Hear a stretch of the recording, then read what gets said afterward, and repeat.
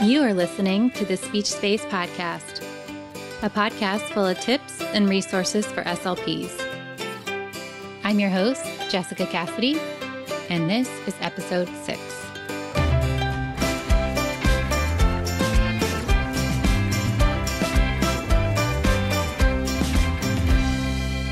Hey everyone, I'm really excited to be here today talking about stuttering. So, just a quick side note some of you might be wondering, am I going to do all of my podcast about stuttering? No, I just happen to be on a stuttering kick lately, and that's just the direction that the podcast has gone. But I plan to cover, cover other topics as well. So I know that this is an area that makes a lot of SLPs sweat and they're not sure where to start or don't feel comfortable treating stuttering but I'm here today to help you get ready for your next stuttering evaluation. So let's get started.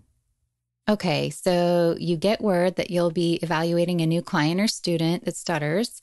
Where do you begin?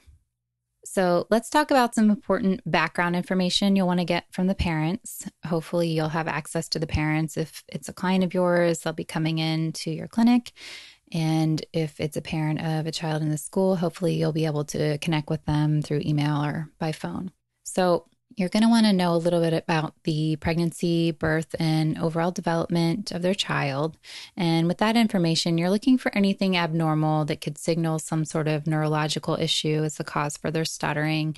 You know, oftentimes there's going to be a family history of stuttering, and sometimes there's no medical or family history at all. And that's okay too. You just want to make sure this is something that you investigate and include in your report. Another important component in regards to the history is the age that the stuttering began and how long it's persisted. You might also want to ask about triggers or if there's been anything that they can connect an increase in the frequency of stuttering with. And of course, you're going to want to ask about, especially for the younger ones, about their uh, speech and language development, and if that was normal and on track as well. Okay, so now you've gathered all of your background information. So now what? Well, we need to figure out what our student or client speech sounds like and if stuttering is a cause for concern. And if so, how this impacts their life. Now, I just want to take a minute to focus on what I just said there, how it impacts their life. We need to make sure that we're evaluating all aspects of the client's experience of the stuttering. So, not only are we looking at the number of disfluencies and secondary characteristics, but we also need to examine negative reactions that one might have and the adverse impact or functional limitations of their stuttering. I think this is really important to mention because it often gets missed, or perhaps it's just overshadowed by the data from a standardized assessment or percentage of disfluency is taken. But whatever the case, I just want to highlight the importance of looking at the big picture because not only is this best practice, but it helps you with formulating your goals as well. Let's briefly talk about some standardized assessments that you might consider. So, first up is the most obvious the SSI. Now, if you go this route, and I know I generally would use the SSI myself because that's what I had access to, but you just need to make sure that the data is used as a piece of the puzzle and not the whole puzzle. uh, another assessment tool that measures a bit more is the test of childhood stuttering, also referred to as the TOCS. It is for children aged ages 4 to 12. And in addition to identifying and rating the severity of stuttering, it also looks at things in more depth like speech naturalness and speech rate analysis.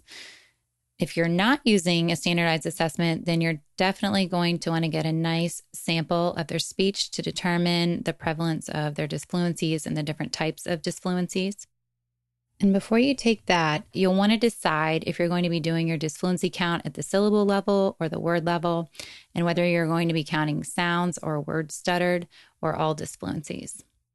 You want to be clear about this in your documentation to make sure that the next treating therapist use the same methods as you did when they do their evaluation. So if you were looking at all disfluencies and they were looking at stuttered disfluencies, then your data is going to be different. Same with the syllable count and word count. You want to let them know, you want to be very specific in your report so they know exactly how you did your evaluation so they can duplicate that at a later date. Now, we've talked about calculating the percentage of words or syllables stuttered. Let's talk about some other things you might look for if you're not using a standardized assessment that looks at other areas. You're going to want to look at secondary behaviors like eye blinking, facial grimacing, head movements, other body movements, things like that. You'll also want to look at breathing patterns to see if that's something that could be contributing to their disfluency. You'll want to check out their speaking rate and if you wanted some more data on that for progress monitoring, you could even time how long it takes them to say a given number of words or syllables, and you could jot that number down so you could refer back to it later. It's also important to look at feelings and attitudes as well. So you could use something like the modified S scale, or you can make your own checklists. I also offer a checklist for children and adults in my stuttering screener that I offer on TPT and Gumroad. And I'll link to all these assessments that I'm talking about today in the show notes. So don't fret if you're driving or you're not in a position to take notes right now. I will have all those links for you. Okay, so back to attitudes and feelings. So, this is really important to do so you can discuss any negative or limiting beliefs and tailor treatment goals to address them. You also want to learn about how the stuttering disorder affects your student or client.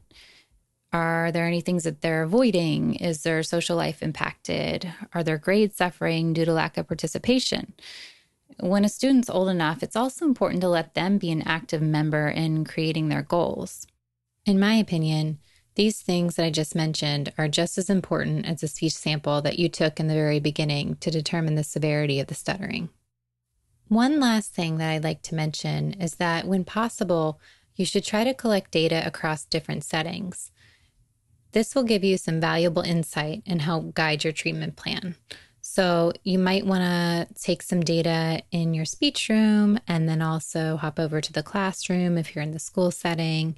If you're in private practice, maybe you have someone make a phone call, um, take data while the student's talking to their parent, maybe set them up with a peer who comes in for a session before or after them and observe and collect data on that.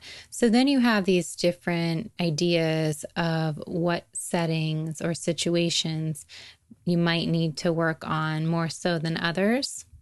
And it can also just help you with progress monitoring. Sometimes, you know, you'll see a student get really fluent in your speech room, yet you know that they're not fluent in the classroom. And if you're only taking your data in your speech room, then it's not going to reflect when that student is having trouble in the classroom. So you really want to make sure that you get your data from a variety of settings. So I hope you guys found those tips for conducting a thorough stuttering eval to be helpful. And please feel free to reach out to me if you have any questions. Jessica at thespeechspace.com is my email address, and I check my email and respond to everyone that I receive. So I'm always happy to hear from you. Thank you so much for tuning into today's episode. Please be sure to check out the links and resources section from the show notes. That's it for today, but I invite you to join me next week when my friend Jennifer from Speech Therapy Fun joins me to give us some great tips for using common objects in speech therapy. This is especially helpful for SLPs on a tight budget, so you'll want to check it out.